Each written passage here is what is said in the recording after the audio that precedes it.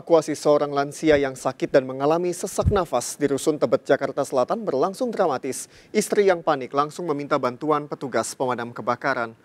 Dengan menggunakan tandu dan tali pengaman, petugas damkar serta petugas kesehatan mengevakuasi seorang pria lansia dari rumahnya di Rusun Tebet, Jakarta Selatan.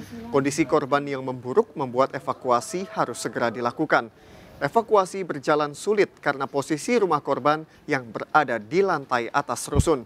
Untuk menurunkan pasien, petugas harus melewati kelokan tangga di setiap lantai yang terbilang cukup curam.